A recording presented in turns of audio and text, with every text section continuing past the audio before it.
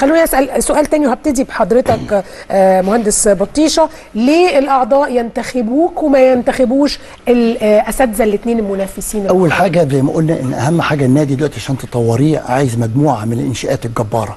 دي عايزة على الأقل 400 مليون جنيه عشان تعملي نهضة زي الأندية اللي حوالينا في اسكندرية. إحنا عندنا أندية رجال أعمال أثبتت قدرتها على انها تنقل النادي ليه ينتخبوك أنت؟ عشان أنا عندي الخبرة الكفاية. أنا عندي خبرة كبيرة جدا. عندي سابقة قبل كده في التمويل أعرف أمول أعرف أفكر أعرف وشايف إن أنفذ. هم ما عندهمش نفس الخبرة دي. الخبرات مختلفة. أنا عندي أنا عملت ناديين ناجحين وماشيين كويس وأعرف إزاي أمول وليا سابقة في التمويل. حتى لما كنت من 20 سنة رئيس لجنة رياضية أنا مولت فرق بتسافر أمريكا بدون أي دعم من النادي كانت السفرية بتكلف 300 ألف جنيه وكان النادي بيديني 10000 جنيه دعم. ناشئين. فأنا عندي رسالة وفاهم أنا هقدر أعمل إيه. قدراتي خبرتي السابقة على أرض الواقع. أنا ما بحلمش. أنا كل مشكلة في النادي عندي حل لها. ايا كانت المشكلة. وبالتالي شايف إن حضرتك لديك الخبرة الأكثر في أنا على ليا الخبرة. غير غير منافسين أنا عندي الآخرين. الخبرة الجاهزة للتنفيذ. أنا ما بطلبش مهلة. أنا جاهز إن أنفذ من بكرة التطوير. قدامك 22 ثانية اديني مثل واحد. أديك مثل مح أكبر مشكلة عندنا في النادي ال parking. مشكلة غريبة. ال parking ده نحله بكذا طريقة. هكلمك في أكتر من محور واحد. أول حاجة إن أنا هنظم الدخول النادي بأب- بأبواب إلكترونية. اتنين هحط الأبواب دي هعد عدد العربيات اللي موجودة جوه النادي قد إيه. وليكن 1000 عربية. هيبقى 20% منهم للخدمات كمل الجمله للخدمات الخاصة زي ال- ال handicap والمرضى وال80% فقط هيسمحوا دخول النادي. ويبقى عندك عداد على المدخل. خلاص. آه، آه، آه، سيادة اللواء ليه الناس ليه الأعضاء ينتخبوك وما ينتخبوش الأساتذة الآخرين؟ الدكتور والأستاذ. أنا مع احترامي أنا جاد في العمل.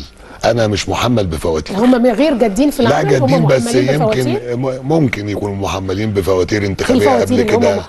يعني مع ناس موجودة في النادي بس أو حضرتك أو نزلت أو. انتخابات أساسا؟ نزلت انتخابات لاول تجربة اللي فاتت دي عشان أعرف النادي ومشاكله وأتعايش فيه. محسن بيه طبعا كلامه سليم 100% بس هو نجله موجود عضو مجلس إدارة حالي. فهو كان ممكن يساعده وهو واقف جنبه كان ممكن يساعده في هذا الكلام وينفذ الكلام ده. فهل إحنا كنا مستنين وابنه الكبير. الدكتور وردة راجل عظيم لكن في السعودية بقاله 16 سنة بعيد عن النادي. هل هو اعتزل الطب حاليا عشان جاي يقعد في النادي؟ أنا بسأله. وسؤال كعضو في مجلس كعضو جمعيه عموميه هل اعتزل الطب ولا هيرجع تاني السعودية؟ ده تساؤل مني. محسن بيه قدم آخر يوم في الانتخابات. دكتور وردة قدم يوم الاثنين ورقه وتراجع ورجع تاني يوم الخميس. أنا جاد. أنا محمل بفواتير أعضاء الجمعية. أعضاء الجمعية أنا عارف هم عايزين إيه. هم عايزين ناديهم يرجع تاني. هم بيشتكوا.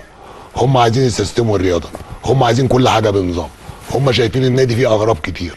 أنا هرجع النادي لاولاده أنا هلغي الأدوية الرياضية. عضو النادي هو اللي يلعب. أنا اللي مسؤول أدربه وأعمل له ابجريد وأكبر مدربه وأطلع مدربه بره يتعلم.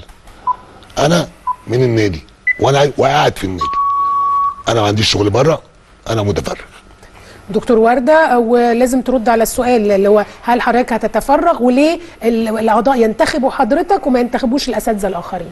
اولا الأعضاء لهم آه، حرية الاختيار ينتخبوا أي حد وأي حد من الزملاء مكسب للنادي الحقيقة آه السؤال اللي آه أرجو إنه ما يتحطش على التايم اللي هو السؤال اللي هو ساله لي ممكن نزوده شوية. آه.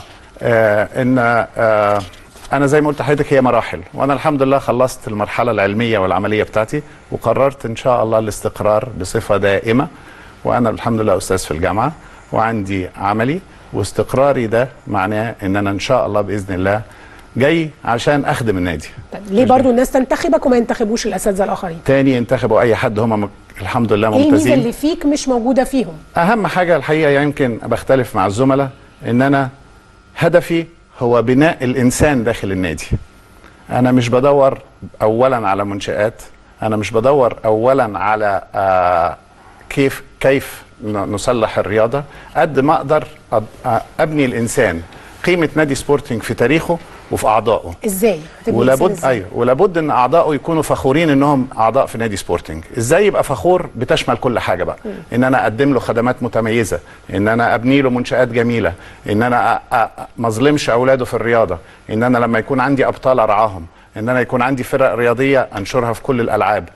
نادي سبورتنج للمعلومية في 22 لعبة كلهم بيتلعبوا في النادي بإمكانيات كاملة. ودي حاجة تقل كبير وتقل جامد على الإدارة. ولابد إن واحد أنا الحمد لله كنت نائب رئيس مجلس الإدارة في فترة والحمد لله أنجزنا حاجات كتيرة في الفترة دي. والحمد لله الخبرة إن الواحد يكون رياضي ومشى الطريق أو اشتغل كنائب رئيس مجلس الإدارة ورئيس المكتب التنفيذي دي بتجعلني أعرف إيه احتياجات العضو وايه احتياجات الجمعية العمومية في الفترة القادمة.